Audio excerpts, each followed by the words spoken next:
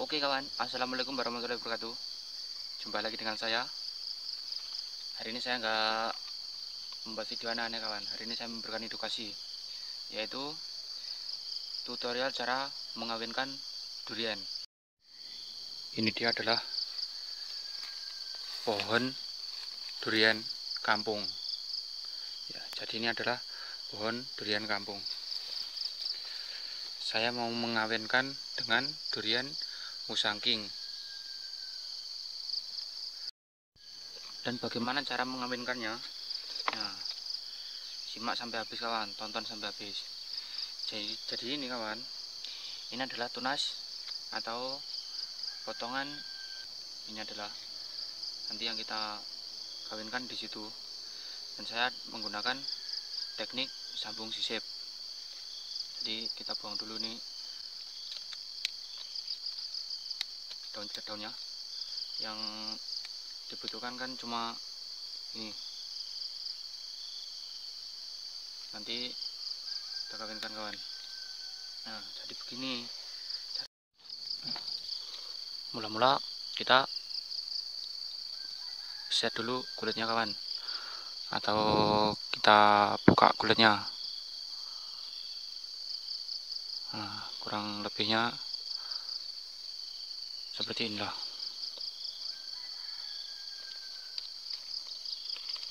nah, kemudian kita buka kulitnya.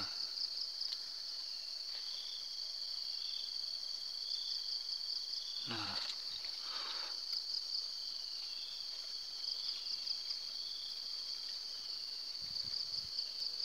Pelan-pelan saja kawan. Kita saya juga masih pemula atau masih belajar tapi ya alhamdulillah yang saya setek itu semuanya hidup. Nah, jadi ini kita buka kurang lebihnya segini. Ini sampai kelihatan batang dalamnya. Kemudian kita potong tapi jangan sampai habis ini. Dan kemudian ini apa itu? Si tunasnya tadi kita kupas jangan sampai kebalik ya. Nah ini daunnya di sini. Ini mesti yang kita bersihkan di sini.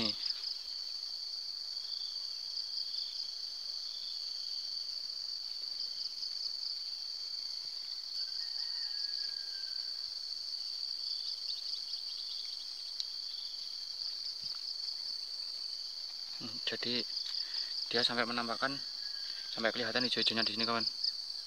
Dalamnya ada hijau-hijaunya di sini kan nah sampai kelihatan.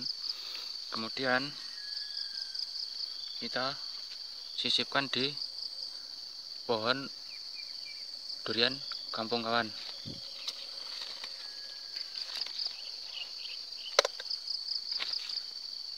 Kita sisipkan seperti ini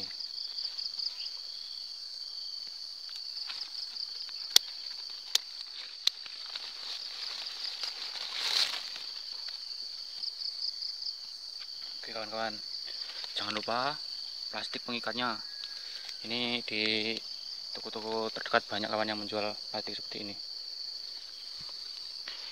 Ini kita ikat jangan sampai dia kemasukan air di celah-celahnya apa itu? Lubang itu jangan sampai kemasukan air kawan. Kalau kemasukan otomatis nanti dia busuk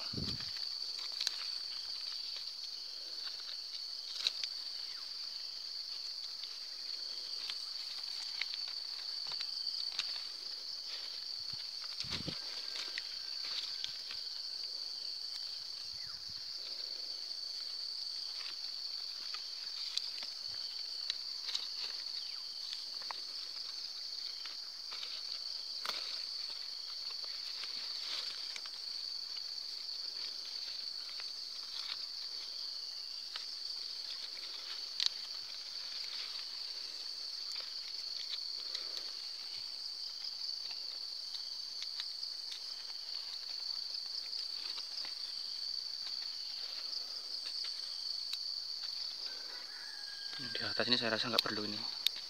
Soalnya yang, nanti yang tumbuh itu dari sini kawan.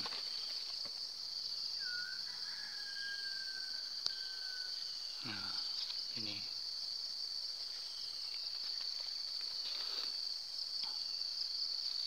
Nanti yang tumbuh tunasnya di sini.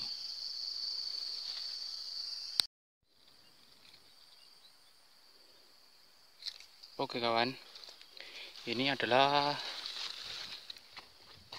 hasil kawinan yang sudah dua minggu kawan. Kita buka ini. Kita buka plastiknya. Nah. nanti kalau dia tunasnya berwarna hijau kemungkinan besar dia hidup.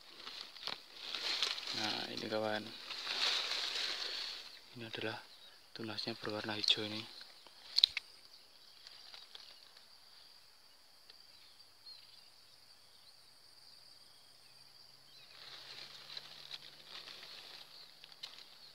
ini berarti hidup ini. Berhasil kawan. Cara pengawinannya.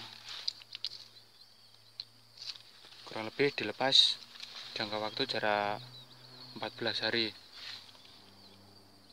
Kemudian ini yang sudah sedikit besar kawan. Sudah mengalami sudah nampak ya perubahannya. Sudah jelas tadi waktu yang kecil sampai agak sedikit besar. Kalau sudah seperti ini tinggal tinggal kitanya saja kawan yang menjaga dan merawat. Kalau ada serangga dikasih racun serangga kasih apa itu perawatan rutin agar supaya bisa menjadi tumbuh besar seperti ini.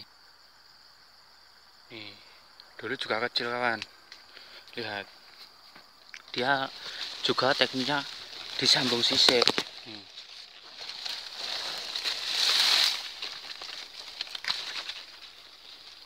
ini yang apa itu? Durian kampung ini yang musangking besar seperti ini. Kalau sudah seperti ini tinggal kitanya saja yang merawat kawan. Oke kawanku mungkin bila ada kesalahan saya memberikan tutorial. Tinggalkan komen di bawah. Dan bila suka tinggalkan like. Jangan lupa di subscribe. Kita sama-sama belajar kawan. Dari saya Sekian dulu. Wassalamualaikum warahmatullahi wabarakatuh. Terima kasih.